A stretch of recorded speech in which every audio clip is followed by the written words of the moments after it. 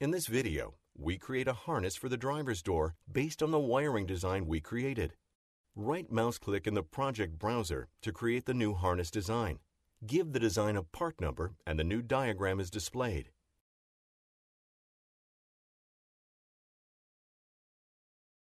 We have the option of defining either dynamic or static bundles. We choose Dynamic Bundle, which draw to scale. We can zoom in while creating the bundle, and when we're happy with the length, 300 units, we double-click to create the first bundle. The harness must connect through the inline connector C underscore IL1, so we create a connector at node 1.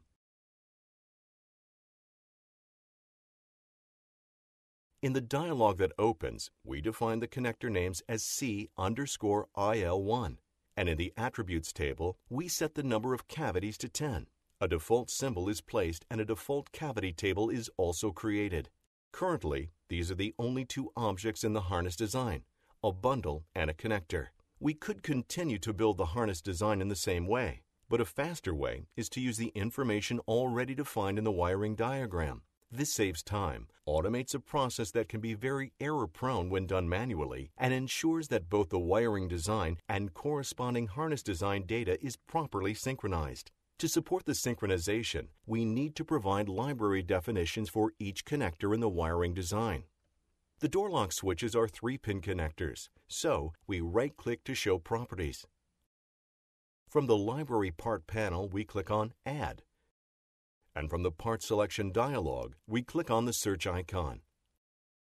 We select the three-way blue connector, click on Insert and OK the remaining windows. Notice in the Design browser there is now an orange checkmark icon beside the connector. This means there is a library part definition attached to the connector. The two switch connectors both have two pins, in this case, let's say we know the part number it is, C-71332. As we manually enter the part number, we see the system filtering down the information. And when we come to the last stage, we select the part, click Insert, OK some default information for the two connectors, and we have got library part definitions assigned. The inline connector that connects the driver's door harness to the rest of the car has 7 pins defined in the design, but we want to use a part that has 10 pins. So we search again, and this time, because this part number of pins is 7, the system returns all the connectors with more than 7 pins. We select the 10-way green connector and OK the default values provided in the dialog to complete the library part assignment.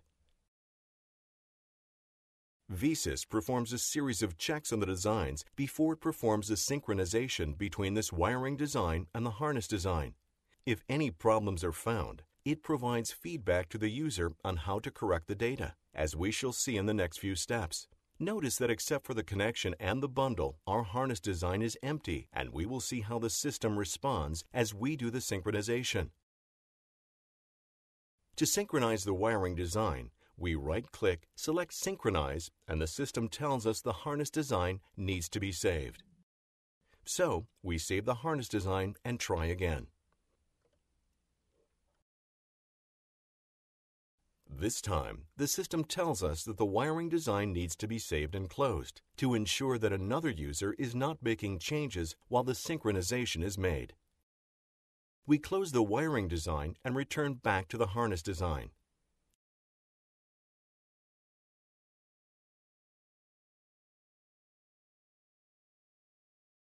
We try again. Earlier, we had set the harness name in the wiring design to door-dr, but our harness design is called Harness Design 1. Let's fix that and change it to door-dr. With all information properly set, we can go ahead and do the synchronization.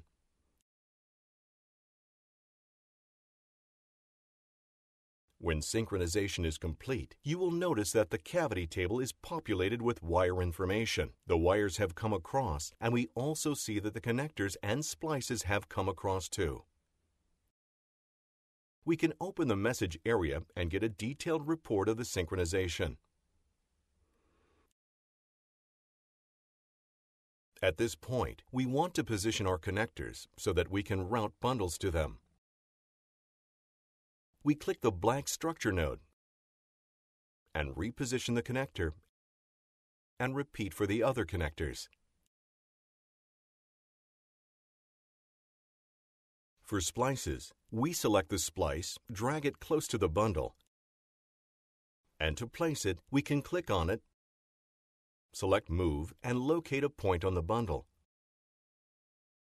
The Node Position utility pops up where we can make changes, but for now, we just say OK, and we reposition some of the connectors so that we can route bundles accurately. We will use static bundles to connect each connector to the main bundle. These are unscaled, allowing you to define the length interactively, but in this case, we'll simply accept the default scaled values. For the rest of the connectors, we will time-lapse through, and where the node utility pops up, we will simply accept the default values provided.